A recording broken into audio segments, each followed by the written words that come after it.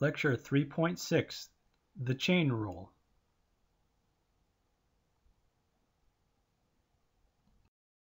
Particular chain was on the USS Alabama, which is permanently moored in Mobile, Alabama, and is open to visitors.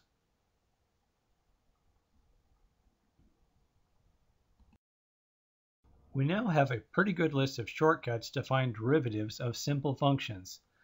Of course, many of the functions that we will encounter are not so simple. What is needed is a way to combine derivative rules to evaluate more complicated functions. Consider a simple composite function. y equals 6x minus 10, which could be written as y equals 2 times 3x minus 5. If we let u equal 3x minus 5, then y equals 2u.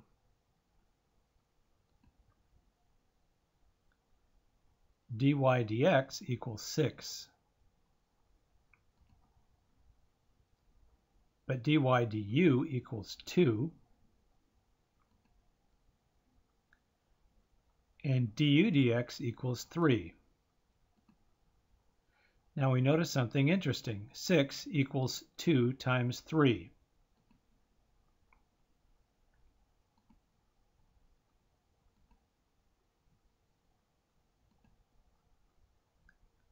dy dx then equals dy du times du dx.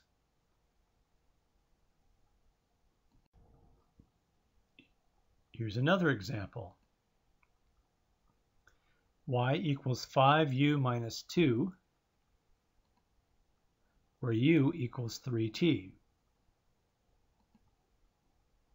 Then y equals 5 times 3t minus 2.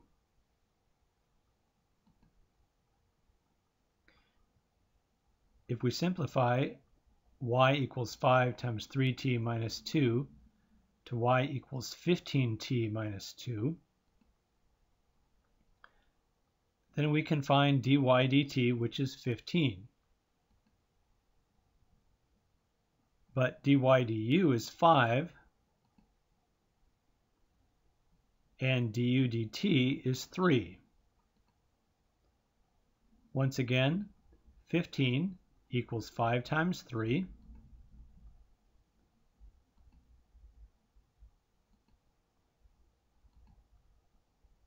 And we see that dy dt equals dy du times du dt.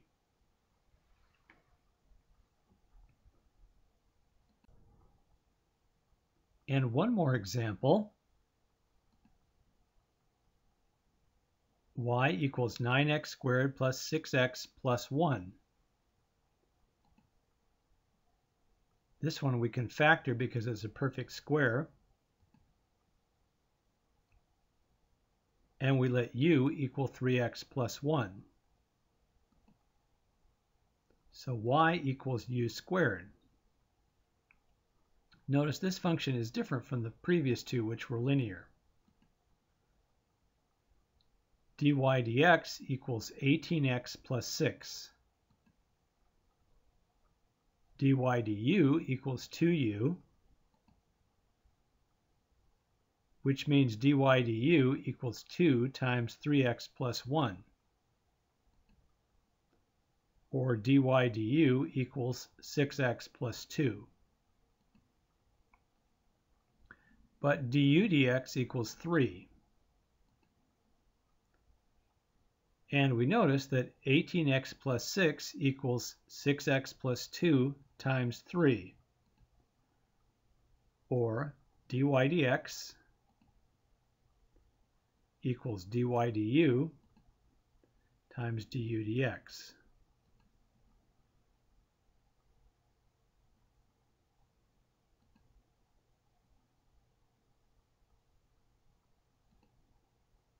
This pattern is called the chain rule.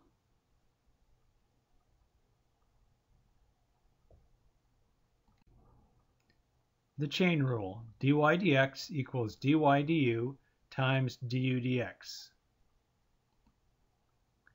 If f of g is the composite of y equals f of u and u equals g of x, then f of g prime equals f prime at u equals g of x times g prime at x. Here's our first example. We're going to look at several different treatments of the chain rule to see which works best for most of the problems we'll be looking at.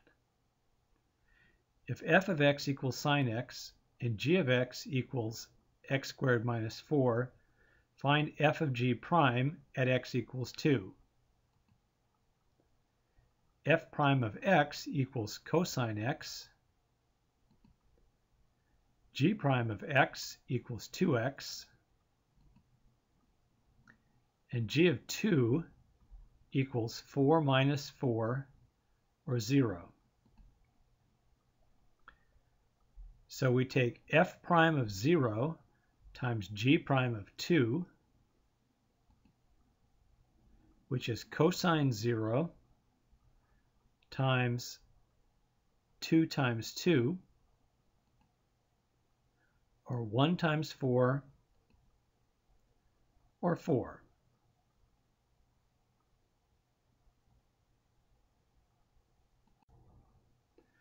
We could also do it this way. f of g of x equals sine x squared minus 4. y equals sine x squared minus 4. And we substitute, so y equals sine u, u equals x squared minus 4.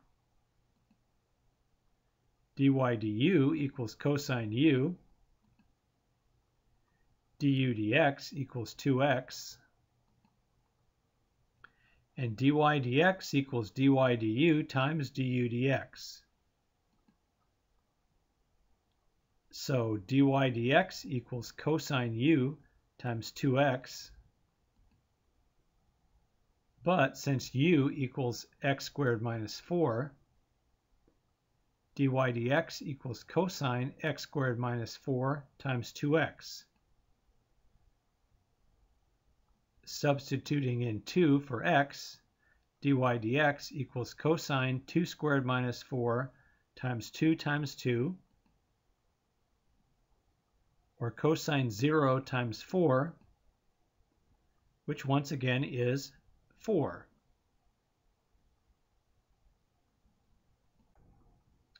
Here's a faster way to find the derivative. y equals sine x squared minus 4. y prime equals cosine x squared minus 4 times the derivative with respect to x of x squared minus 4.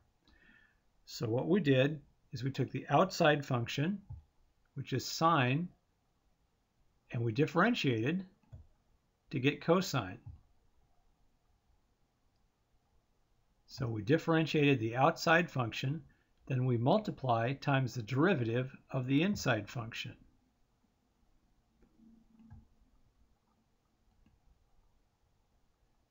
Then we take the derivative of the inside function.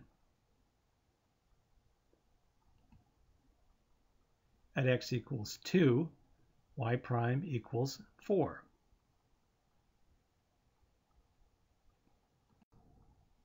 Another example. d dx cosine squared 3x. Whenever we see this little bit of mathematical shortcut, when a problem is written, for example, cosine squared, we rewrite it as a quantity squared. So we rewrite it as cosine 3x quantity squared. Now the outside function is exponentiation. So we bring the 2 down and decrease it by 1. So we just get an invisible 1 there. And then multiply times the derivative of the inside. The inside was cosine 3x. So we have the derivative of the outside function times the derivative of the inside function. And it looks like we need to use the chain rule again. The derivative of cosine is negative sine. So we have negative sine 3x times the derivative of the inside of that function, which is 3x. The chain rule can be used more than once. That's what makes the chain in the chain rule. So we take the derivative again, and then combine the negative 2 and the 3 to get our answer.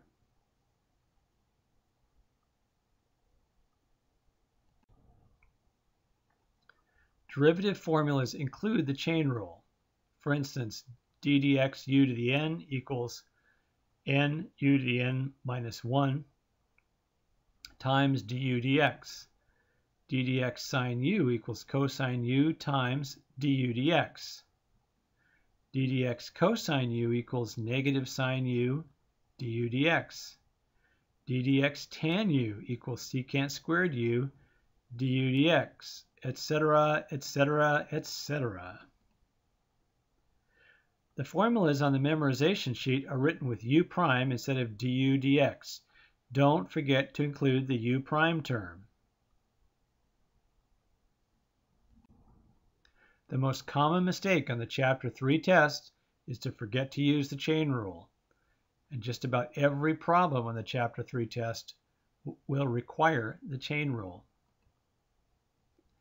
Every derivative problem could be thought of as a chain rule problem.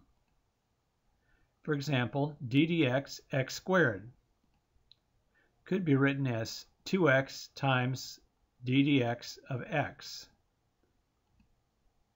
So we have the derivative of the outside function times the derivative of the inside function. However, in this case, the derivative of x is 1.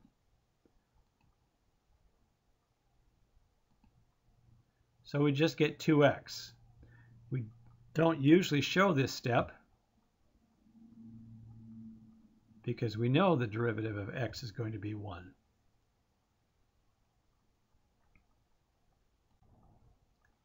The chain rule enables us to find the slope of parametrically defined curves. dy dt equals dy dx times dx dt If we divide both sides by dx dt, we get dy dt over dx dt equals dy dx. Turning that around, we have the slope of a parametrized curve given by dy dx equals dy dt over dx dt.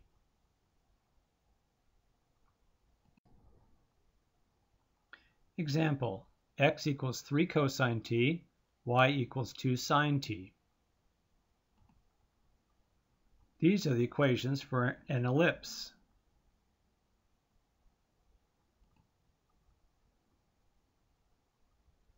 If we had the equation for the derivative, we could find the slope of this ellipse at any point. dx dt is negative 3 sine t dy dt equals 2 cosine t. dy dx then is 2 cosine t over negative 3 sine t, or negative 2 thirds cotangent t.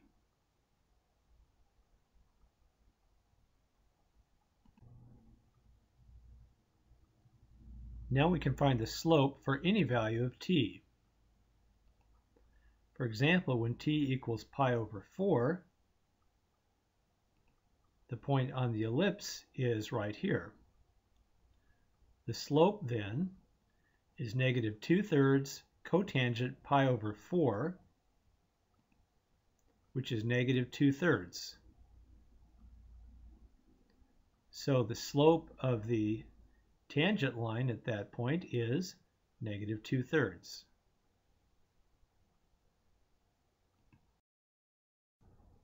Don't forget to use the chain rule.